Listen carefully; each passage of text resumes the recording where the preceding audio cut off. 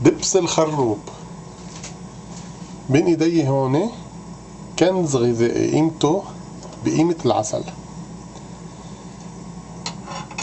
دبس الخروب هو مصدر أساسي للطاقة. 60% منه سكر طبيعي مفيد جدا للصحة.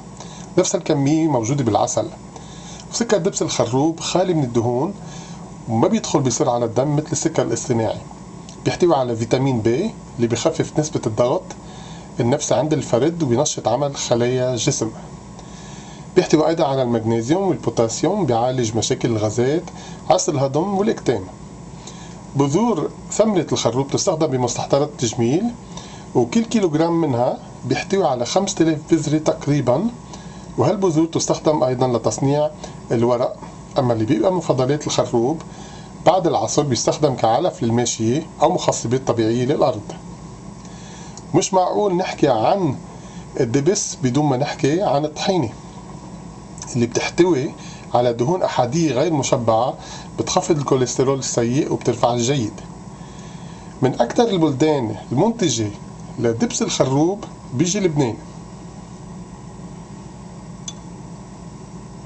شايفين أحلى منظره؟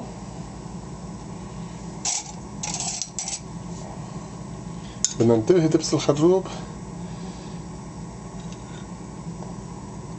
لأنه كتير بيشرشر مثل ما بيقولوا.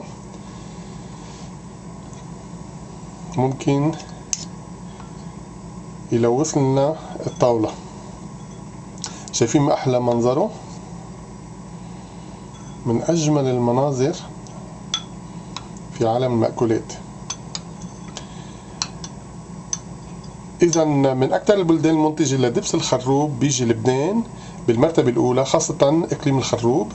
الموجود بقضاء الشوف اللبناني بيتوزع إنتاج الدبس بين جبل لبنان وشمال لبنان مثل عكار والبترون وأميون وصلنا إلى الجنوب خاصة مدينة صور للأسف شجرة الخروب بلبنان في خطر بسبب كثرة البناء والتصحير وبسبب إهمال الناس ففي لبنان معظم الناس اللي عندهم أراضي أمام بيوتهم ما بيهتموا بزراعة أشجار مثمرة. ولما نزور كتير من البلدات المنظر الطاغي هو مباني من بطون بدون الاهتمام بأي أشجار. في كمان إهمال الحكومة بخصوص التشجير ونشر ثقافة زراعة الأشجار المثمرة.